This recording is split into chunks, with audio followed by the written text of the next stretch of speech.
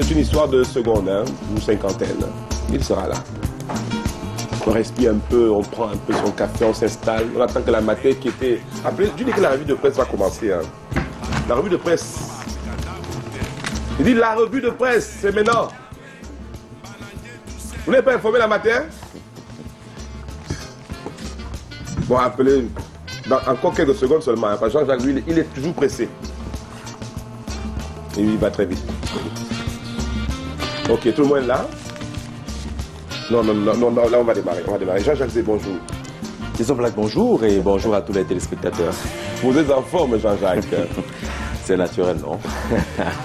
Lorsqu'on arrive sur un plateau aussi vivant, aussi animé, aussi apprécié, euh, on est obligé d'être en forme. Vous êtes sympa, merci beaucoup Ouais. de nous le dire.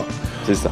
On est en route pour euh, cette euh, jolie revue de presse. Jolie parce qu'évidemment, ils vont prendre la température dans de très bonnes conditions. Installez-vous bien, tout le monde est là. Jean-Jacques, vous commencez par le message ou bien par Ouest Littoral? On va commencer par le messager pour décrypter justement le message de la France à l'heure où justement les uns et les autres s'intéressent et s'interrogent sur la présence et la participation française dans cette lutte contre Boko Haram relativement aux propos tenus par le ministre tchadien de la communication qui indiquait justement que les armes françaises ont été récupérées entre les mains des soldats de Boko Haram rattrapés au, au front. Et le messager parle aujourd'hui de la sortie de l'ambassadrice de France au Cameroun. La France nie ravitailler Boko Haram. C'est le grand titre choisi par le journal de Feu Pundiawe ce matin, s'inspirant du communiqué rendu public le 6 mars dernier par Christine Robichon, Madame l'ambassadrice de France au Cameroun, au sujet justement de ces propos venus et venant de la, de la bouche même du ministre tchadien de la communication. Selon les informations proposées par notre confrère ce matin, ces déclarations du ministre tchadien n'ont pas laissé indifférent le Quai d'Orsay, le département ministériel en charge des affaires étrangères du côté de la France, euh, qui aurait demandé aux différentes chancelleries de Yaoundé et de N'Djamena de se rapprocher et de fournir des informations relatives à cette accusation entre guillemets. Le communiqué est repris intégralement par le messager ce matin, précisant justement euh, dans ce texte que la France euh, n'a ne vient les armes euh, rattrapées et qui sont observées entre les mains de Boko Haram selon la France euh, viennent du Nigeria et des trafics illégaux dans la région. Christine Robichon précise que l'un des objectifs de l'opération Barkhane, qui est basée dans plusieurs capitales africaines, est justement de lutter contre le trafic et les trafics illégaux euh, d'armes lourdes. Et concernant justement cette sortie, un expert réagit dans les colonnes de Le Messager ce matin en indiquant qu'il est bien clair, selon les propos de la France, euh, que les armes viendraient du Nigeria, mais il est à préciser également euh, qu'aucun pays africain ne fabrique des armes et rien n'exclut euh, que ces armes venant du Nigeria et se retrouvant entre les mains de Boko Haram pourraient être effectivement de fabrication française. C'est la contestation qui accompagne le communiqué publié, comme je l'ai dit, intégralement dans les colonnes de Le Messager ce matin. Le journal parle également de cette affaire de lyrique en parlant de l'équilibriste de la médiocratie académique parlant ainsi de Jacques Famdongo, le ministre de l'Enseignement supérieur, relativement à la publication d'une troisième liste finalement dans le cadre du concours d'entrée euh, de cet examen du côté euh, de euh, l'IRIC. Le journal Intégration de Thierry on a rebondi sur cette affaire en proposant pratiquement un dossier de deux pages là-dessus, les dessous de la troisième liste, titrant son pied une intégration ce matin qui nous propose en tout cas la sortie euh, du chef de l'État comme sapeur-pompier dans le cadre de cette affaire, mais qui nous propose également une lecture assez émouvante et qui peut me relever d'un bon scénario pour la réalisation d'un film autour d'une euh, candidate, une fille Estelle, dont le nom avait curieusement disparu euh, dans la seconde liste. Cette fille qui aura connu des moments de joie et de bonheur lorsqu'elle verra sur la première liste son nom. Elle aura vécu toutes les émotions allant dans le sens de la joie et pouvant annoncer la fin de ce qu'on appelle galère au Cameroun pouvant déjà rêver de son matricule du ministère des Relations extérieures, pouvant également envisager les chancelleries étrangères, Washington, Paris et peut-être autres, pour que cette nuit tout s'écroule, avec d'abord la rumeur annonçant justement que son nom avait disparu euh, de la seconde liste proposée par le ministre de l'Enseignement supérieur, Jacques Famdongo. Quel moment intense et quel revirement vécu par cette candidate, raconté par notre confrère Intégration euh, ce matin, qui va même plus loin en décryptant justement ce qu'on peut appeler les tripatouilles dans cette affaire, mais établissant une grosse coïncidence avec les propos tenus par feu Charles Ateba Yéné qui indiqua déjà que notre société est bloquée par son mode, de sélection euh, de ses cadres. C'était euh, pratiquement dans les années 98, euh, disait Charles Ateba Yéné, qui reconnaît également que cette affaire d'équilibre régional a notamment ses mauvais côtés. Quelques extraits de Charles Yéné sont proposés par le journal d'intégration ce matin, le journal de Thierry Ndong qui propose en tout cas ce dossier de deux pages sur le scandale de la liste de lyrique avec le jeu et les acteurs au premier rang desquels Jacques Famdongo, mais également un autre acteur qui s'appelle Paul Bia. Mais vous le verrez également, la grande une d'intégration ce matin est consacrée à ce ras-le-bol venant des soldats camerounais embarqués dans le cadre de l'opération de la MINUSCA du côté de la République centrafricaine. Cela fait des mois, ces soldats camerounais n'ont pas reçu l'argent onusien. Cela fait beaucoup de temps déjà les plaintes circulent dans les réseaux euh, sociaux et intégration dans sa capacité d'intégrer justement ces réseaux d'information. Nous propose justement cette lecture avec les troupes camerounaises qui sont en République centrafricaine qui enregistrent déjà 19 mois de primes onusiennes impayées, seulement 250 000 francs CFA payés par le Trésor public camerounais sur les 8 millions de francs CFA attendus par chaque militaire ou gendarme. Un mouvement de grève est annoncé à Bangui pour cette fin de mois de mars 2015, précise le journal ce matin. Revenant à l'affaire du concours de lyrique Ouest Littoral, nous indique que c'est depuis la Suisse que le créateur a désavoué sa créature. C'est un jeu de mots qui nous permet de repenser encore à ces propos Jacques Famdongo qui avait dit qu'ils étaient des créatures de Paul Biya. Eh bien, c'est ce créateur-là Paul Biya qui a reproposé une autre liste qui finalement s'affiche comme un désaveu de sa propre créature, tel que l'indique le journal ce matin, qui propose également un dossier pratiquement de trois, euh, sur trois aspects euh, précis, dans lequel on peut bien lire et souligner que, mais il ne faudrait pas oublier que c'est le chef de l'État lui-même, aidé par ses extrémistes.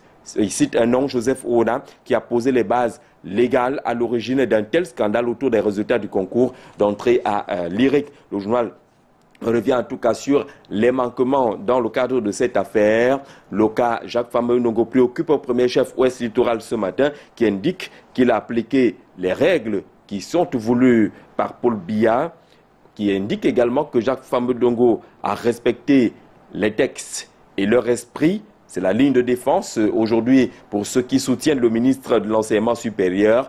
Mais le journal indique également que de manière plus intelligente, Amadou Aïdjo avait instauré les quotas uniques dans les concours administratifs la chasse à l'anglobamie a poussé Paul Biya et ses euh, serviteurs zélés vers la voie du crétinisme. Ce qui se passe aujourd'hui est une création depuis Amadou Aïdjo, mais selon notre confrère, cela semble être mal interprété aujourd'hui. La source du mal serait une sorte de chasse, dit le journal, de ce qu'il a qualifié d'anglo-bami. Et le créateur a donc réagi. Le journal indique justement qu'on ne comprend pas pourquoi avec des hommes tels que Joseph Oona, qui était à la fonction publique, on a pu laisser prospérer euh, ce, système qui n'est pas forcément un système qui promeut la méritocratie, c'est à dire dans les colonnes de Ouest Littoral ce matin. Et dans ces conditions, la nouvelle expression consacre également sa une aux misères du professeur Jacques Famdongo. C'est la grande une journal La Nouvelle Expression ce matin qui parle également euh, des différents euh, cas déjà enregistrés à l'Institut des relations internationales du Cameroun, mais également de façon globale dans les grandes euh, écoles dans notre pays. Il y a eu naturellement les cas de l'Université des montagnes, le concours d'entrée dans les facultés de médecine, les primes d'excellence académique et maintenant lyrique il y a également trois points de suspension pour indiquer que les cas sont nombreux à l'enseignement supérieur au Cameroun. Et dans ces conditions, parole donnée à un expert de l'école au Cameroun qui décrypte en tout cas l'équilibre régional selon euh, Femme Dongo et qui souligne euh, les limites d'Emmanuel Kunke dans le journal de la Nouvelle Expression euh, ce matin. On donne également la parole à un membre, le ministre du de cabinet, Evariste Fopoussi Fotso, qui démontre comment la notion a été dévoyée par le renouveau, la notion d'équilibre régional s'entend par là, et bien entendu la défense qui semble être boiteuse par le ministre de l'Enseignement supérieur. Le journal propose en tout cas l'intégralité euh, de l'entretien accordé par Jacques Famdongo à euh, la CRTV sur les points euh, précis. Il n'y a pas de reculade, il n'y a pas de désaveu parce qu'on ne désavoue pas un État. Le président de la République, en tout cas, ne peut pas désavouer un État. Il fallait jongler entre la méritocratie académique pure et la méritocratie académique régionale. La troisième liste est pratiquement la fusion entre ces deux euh, aspects rassemblés par le président euh, Paul Biya qui est au cœur justement de la manœuvre parce que le ministre, lui, n'a pas autorité à ajouter ou à retirer des noms. Tout cela est le résultat en tout cas d'un jury concernant par exemple le cas de cette jeune candidate, Nti Estelle Nadia. Il n'y a aucun problème personnel. Les résultats sont venus du jury. Le ministre a fait son travail de signature, mais les limites observées ont amené aujourd'hui à réaliser les ajustements réalisés par le président de la République. Et donc, il n'y a aucun fils à papa qui a été pistonné dans cette affaire se défend également Jacques Famendongo dans l'intégralité de l'entretien proposé par notre confrère euh, ce matin à lire absolument dans les colonnes de la nouvelle expression. Et puis le journal nous permet de parler d'autres choses et de cette lutte contre Boko Haram et les conséquences économiques qui sont visibles dans le septentrion. On apprend pratiquement que l'économie est asphyxiée dans cette partie euh, du pays depuis le déclenchement de cette guerre euh, contre Boko Haram. Tous les indicateurs sont pratiquement en baisse euh, de ce côté-là. Les attentes également ne pourraient pas être remplies avec la lutte contre Boko Haram, le nombre de déplacements et bien entendu l'abandon de quelques activités économiques, l'effondrement des échanges commerciaux euh, génère, générateur d'importantes recettes entre le Cameroun et le Nigeria, entre le Cameroun et le Tchad, devient préoccupant. C'est à lire dans les colonnes du journal ce matin. La nouvelle presse, pour sa part, s'intéresse aussi à Boko Haram, mais dans le cadre des différents rapports qui s'opposent aujourd'hui. Mais le journal consacre sa grande une à l'après-BIA qui pourrait être un véritable bordel, comme ce qui se passe à la Fédération camerounaise de football. C'est sur la forme interrogative, mais le développement proposé par notre confrère ce matin fait un rapprochement entre ces deux situations qui se résument en un mot véritable, qui, en un mot, le euh, bordel. Mais le journal Son Pied une est consacré au séjour du chef de l'État du côté de l'Europe, un séjour qui, si on s'en tient à ce que la nouvelle expression propose ce matin, qui ne devrait pas être de tout euh, repos, il y a des dossiers, en tout cas sur la table du président de la République, le premier étant notamment cette bataille contre Boko Haram, le second étant peut-être les élections au niveau des bureaux euh, du Sénat et de l'Assemblée nationale avec des possibilités de sièges éjectables pour Kavaïge Dibril et Niat Jifendi euh, Marcel, mais également l'éventualité d'un remaniement ministériel avec un jeu de chaises qui pourrait arriver à la tête euh, du gouvernement camerounais. Le nom qui est cité depuis hier dans les journaux et qui est repris par la nouvelle presse ce matin est celui d'André Siaka, qui pourrait être, selon les lectures proposées, le futur Premier ministre du Cameroun. Et les nouvelles du pays nous parlent encore de tripatouillage à l'Éric. Famille Dongo pousse Paul Biya a proclamé les résultats. C'est la grande une choisie par les nouvelles du pays qui nous replonge en tout cas euh, dans euh, cette affaire euh, concernant justement la gestion du sujet on peut également rapidement parcourir quelques titres qui nous rattrapent en ce moment précis. Le paiement des créances dans les mairies, le mauvais exemple d'aider à premier, selon notre confrère ce matin, le journal Cameroun Express qui est dans euh, les kiosques, mais un véritable décryptage absolu dans Afrique Business Magazine euh, de la loi des finances 2015, celui qui s'occupe de la manette de la manœuvre de ce décryptage, Dr Pierre Alaka, Alaka qui apparaît à la grande une euh, de cette édition, nous parle justement de la fiscalité camerounaise en ce moment précis sur les différents aspects soulevés euh, par euh, les impôts. Bien entendu, on peut lire également les pièges qu'il faut éviter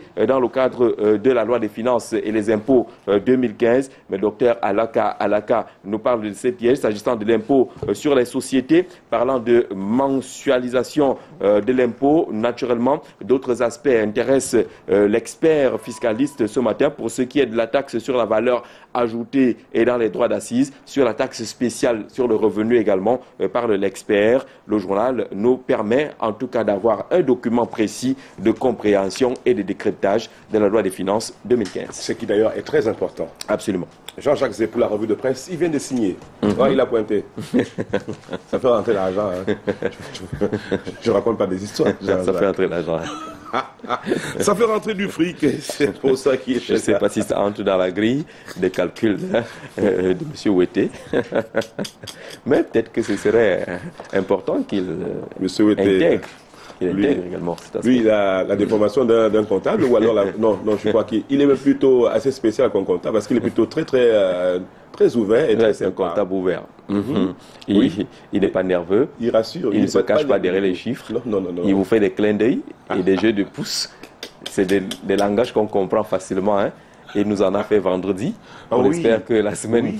on espère que vraiment, la semaine prochaine, peut-être. Il nous en a fait vendredi, c'est où était. On aimerait, on aimerait